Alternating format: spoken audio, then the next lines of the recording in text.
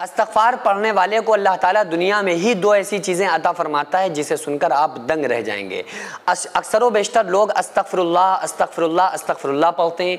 कुछ ऐसे लोग हैं जो पांचवा कलमा पढ़ने के आदि हैं। उनकी आदत में होता है कि अस्तगफिरुल्लाह रब्बी मिनकुल जम्बी अजनब तो आतुबू इलही पढ़ते हैं। तो जो लोग इन कलमात को पढ़ते हैं ना तो आखिर अल्लाह तबारक ताली उन बंदों को अता क्या करता है?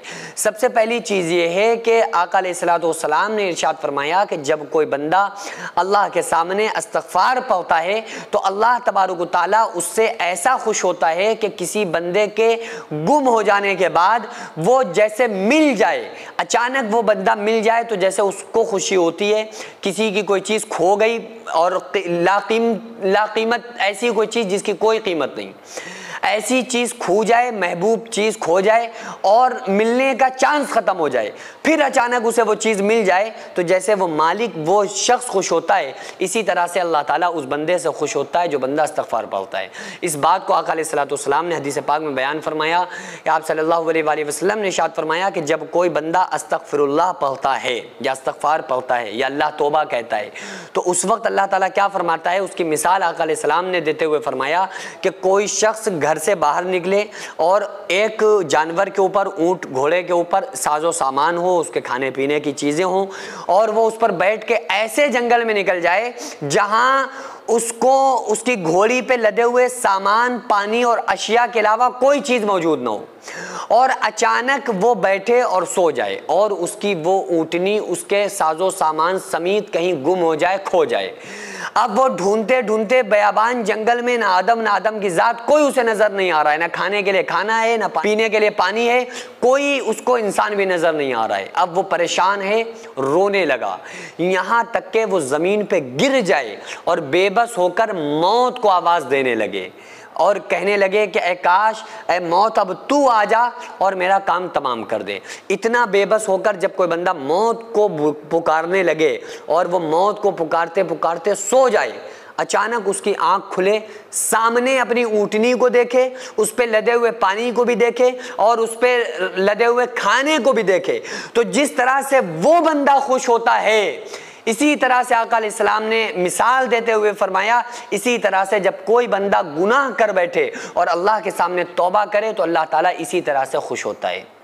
और आकाम ने शायद फरमाया कि अल्लाह फरमाता है, अगर तुम सारे लोग नेक हो जाओ और गुनाह ही छोड़ दो तो मैं ऐसी कौम को पैदा करूँगा जो गुनाह करें, फिर तौबा करें, ताकि मैं उनको माफ़ करूँ। अल्लाह को तौबा बहुत पसंद है।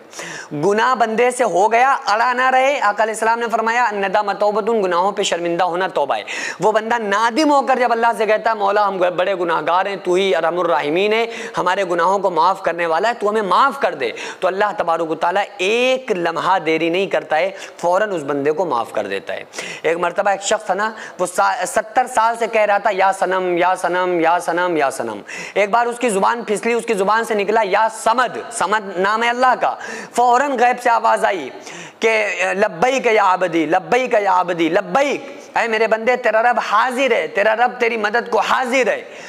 तो फरिश्तों ने कहा, मौला है तुझे नहीं पुकार रहा है। ये तो या सनम या सनम कर रहा था, धोखे से इसकी ज़ुबान से तेरा नाम निकला है। तो अल्लाह फरमाता है कि, ए फरिश्तों, खामोश हो जाओ। हमेशा से ये या सनम या सनम कह रहा था तो इसके सनम ने इसको जवाब न दिया। तो अगर मैं भी जवाब न दूँ तो जिसको पुकार रहा था उसमें और मुझमें क्या फ़र्क है? धोखे से ही सही।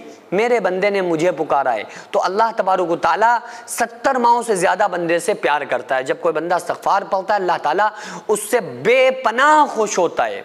उसे क्या अता फरमाता है? पहली चीज़ उसके, उसको गुनाहों को इस तरह मिटा देता है, जैसे आग लकड़ी को खा जाती है। इस्तफार पढ़ने से अकल इस्लाम के हदीस का मफहूम है। कि गुनाह ऐसे ख़त्म हो जाते हैं जैसे आग लकड़ी को ख़त्म कर देती है कि वो उसका नामो निशान भी लकड़ी का बाकी नहीं रहता, वो राख बन जाता है। इसी तरह से बंदे के सारे गुनाह अल्लाह ताला ख़त्म कर देता है। ये उसको मगफिरत अता फरमाता है दुनिया में ही उसी टाइम। और दूसरा अल्लाह तबारक ताली उस बंदे से इतना खुश होता है कि उसको महबूब बंदों में उसको शामिल फरमा लेता है।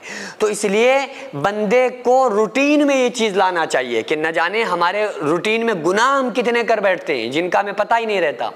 हमें पता ही नहीं वो हमारे रूटीन में जो चीज़ें उन रूटीन के बीच बीच हम कितने गुनाह कर रहे हैं।